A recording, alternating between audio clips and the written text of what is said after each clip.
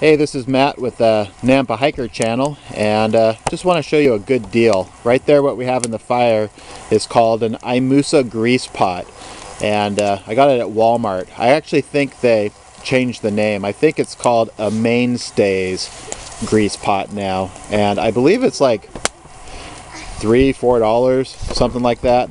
But right now I'm just uh, heating up some uh, apple cider in there and what the kids have, here are a couple of my kids, uh, Sophia has a little uh, mainstays cup, and Joey, you're holding it upside down, buddy, and Joey has a bigger mainstays cup. So when uh, when this is done here, the apple cider, we're gonna pour it into those, and I'm gonna see if I can keep them warm. It's uh, it's in the 20s right now.